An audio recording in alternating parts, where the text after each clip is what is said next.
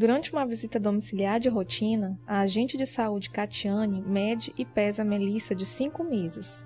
Ao anotar os dados na caderneta de saúde, a agente percebe que Melissa vem apresentando queda de peso ponderal por dois meses seguidos. A mãe conta que nos últimos dias mudou a alimentação da filha e diminuiu a frequência com que oferece as mamadas. Diante dessa situação, qual deve ser a conduta da equipe de saúde?